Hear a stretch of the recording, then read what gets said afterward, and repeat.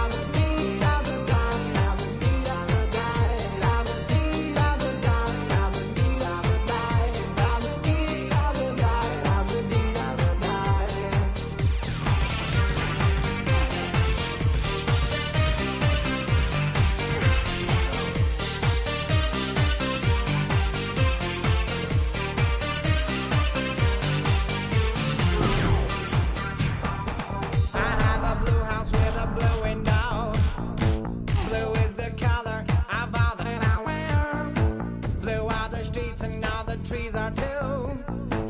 I have a girlfriend, and she is so blue.